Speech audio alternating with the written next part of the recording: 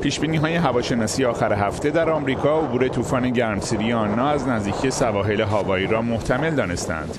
مقامات آمریکا ترجیح دادند با توجه به همه احتمالات در این مجمع الجزایر وضعیت هشدار اعلام کنند. یکی از ساکنان محلی که با دیدن امواج خروشان به وجد آمده می‌گوید دیدنی است من تا به حال چنین چیزی ندیده بودم.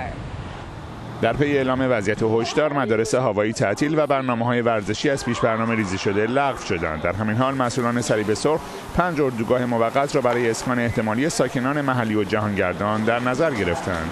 یکی از جهانگردان می‌گوید امروز صبح برای قواسی رفته بودیم و وقتی برگشتیم دیدیم همه ساحل را تخلیه کردند. مطمئنم که فقط یک اقدام احتیاطی است. در ماه اوت طوفان‌های گرمسیری موجب قطع برق هزاران خانه و جاری شدن سیل در هاوایی شد. در صورت تبدیل شدن این طوفان به تندباد سرعت وزش باد به 153 کیلومتر در ساعت خواهد رسید.